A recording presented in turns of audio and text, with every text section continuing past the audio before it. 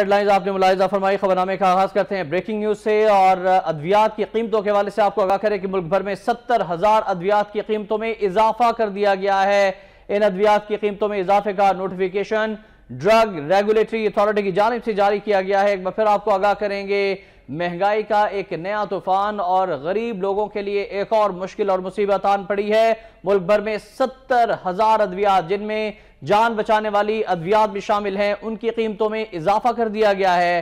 ادویات کی قیمتوں میں اضافے کا نوٹیفیکیشن ڈرگ ریگولیٹری اتھارٹی کی جانب سے جاری کیا گیا ہے۔ اس سے پہلے بھی من مانا اضافہ کیا گیا تھا فارماسوٹیکل کمپنیز کی جانب سے اور حکومت نے کوئی نوٹس نہیں لیا تھا۔ اور اب ڈرگ ریگولیٹری اتھارٹی کی جانب سے نوٹیفیکیشن جاری کیا گیا ہے۔ ستر ہزار ادویات کی قیمتوں میں اضافہ کر دیا گیا ہے۔ اس بارے سے مزید تفصیلات بھی آپ تک پہنچائیں گے۔ لیکن اپنے ناظرین کو جنہوں نے ابھی ہمیں جوائن کیا، آگاہ کر رہے ہیں، ملک بھر میں ستر ہزار ادویات کی قیمتوں میں اضافہ کر دیا گیا ہے۔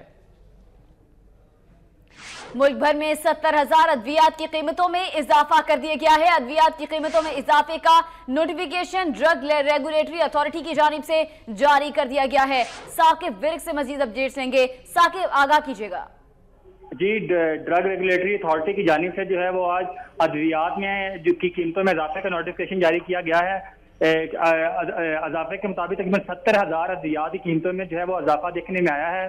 اور اوسطن ڈیڑھ سے ڈھائی فیصد جو ہے وہ ستر ہزار جو ہے ادویات ان کی قیمتوں میں اضافہ کیا گیا ہے اور اس لیے جو ڈرگ ریگولیٹری اتھارٹی کا جو نوٹیفکیشن تھا، اس کے وفاقی حکومت نے جو ہے منظوری دے دی ہے۔ جی۔ یہ بتائیے گا کہ وجوہات کیا بتائی گئی ہیں۔ ڈرگ ریگولیٹری اتھارٹی کی جانب سے ان ستر ہزار ادویات کی قیمتوں میں اضافے کے حوالے سے، اس سے پہلے من مانا اضافہ کیا جا چکا ہے فارماسوٹیکل کمپنی کی جانب سے۔ رمضان المبارک میں بھی اضافہ کیا گیا، اس سے پہلے بھی اضافہ کیا جاتا رہا۔ اور اب ڈرگ ریگولیٹری اتھارٹی نے اس پر مہر سب تصدیق کر دی ہے کہ ٹھیک ہے، اس میں اضافہ جائز ہے۔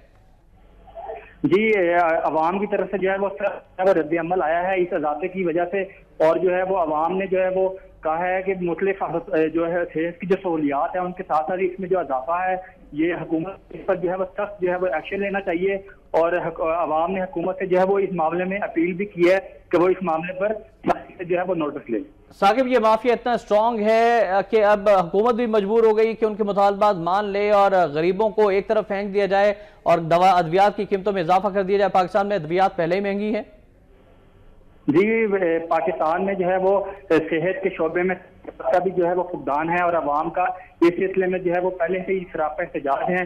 اور حکومت بھی جو ہے وہ ان جو ہے وہ ادویاتی کمپنیوں کی جو ہے وہ بات پر راضی ہو گئی ہے تو اس پر عوام نے وزیر اعظم ثاقب ویر کا آپ کا بہت شکریہ۔